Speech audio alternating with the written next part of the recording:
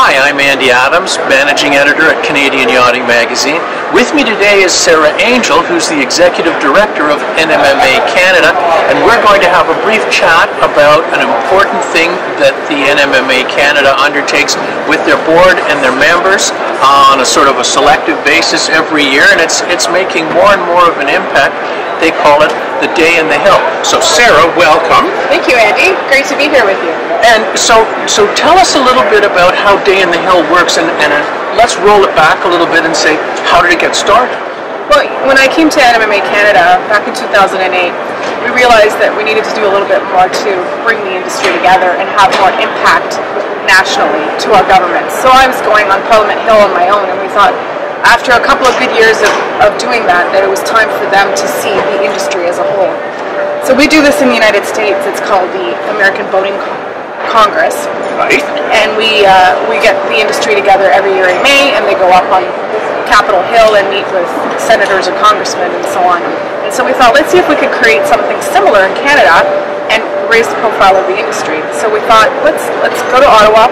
Let's bring the industry representatives from all of Canada, from BC, Mid Canada, uh, Ontario, Quebec, Atlantic, and uh, we created a day and a half of meetings up on the hill and got to meet our parliamentarians. And we got there and they asked us, "What is it that you need from us?" And we said, "We don't need anything. We came here so that you could meet us, so that you could see that we have an impact to the Canadian economy, Canadian economy." And that's how it got started. Tremendous. But in fact, we do have some things now that we want, and we're starting to get some traction with that, aren't Absolutely. we? It's taken a few years. It has, because we came back the following year and said, here we are, remember us? We don't need anything really, but here's some issues that we'd like you to consider on our behalf. And then we did that again this year, and this year we, I think, made the best and biggest impact, having the most amount of meetings and actually making some um, policy decisions and, and the government listening to us on uh, the Trent Severn and Waterway Yeah. matters, right? One Yeah. of the biggest ones. Well, it really was, and and um, I just had the feeling at first that we just weren't on the radar screen. And after showing up as an industry with a significant group of people, how many altogether? I think there was probably about, uh, well, in the second year, I think there was over 30 of us. And in the Right, third year, we actually took the numbers down a little bit.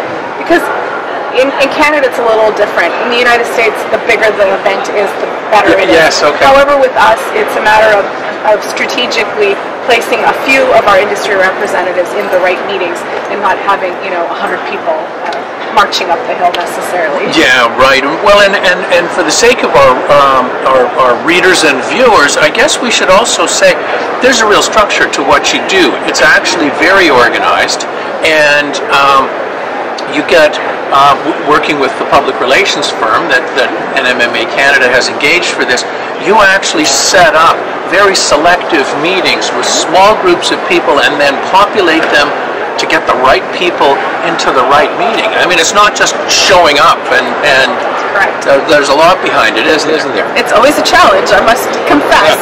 But what, what our what our goal is, we look at you know the 300 plus members of parliament, and then political staff and departmental staff, and we say who are the players that impact our industry, whether it's Transport Canada, tourism, international trade, and then we look at the people that we have in the room. So we would send our folks who have gone on our trade missions to the meetings with the international trade we would send our, our folks who are more worried about construction standards to the meetings with the regulatory staff at Transport Canada. So we try to, you know, I would send the folks from British Columbia to a meeting that had to do with, you know, border services if they had something that was impacted. So it is very structured and it's a lot of running around on the hill, but it works well. Well, it works well. It certainly worked really well this past year, and I have a feeling that as long as NMMA Canada has the support to keep all of this going year after year, it just improves, gains more momentum. People Absolutely. become more and more familiar with the industry and our issues, and you got to keep it going. That's one of the, the main pieces. Uh, I want to reiterate the importance of the industry working together and, and being a part of what we're doing as one unified national voice. That's the key. Absolutely. Sara, thanks so much for coming in and talking about Thank it. you, Andy. Bye-bye. Bye.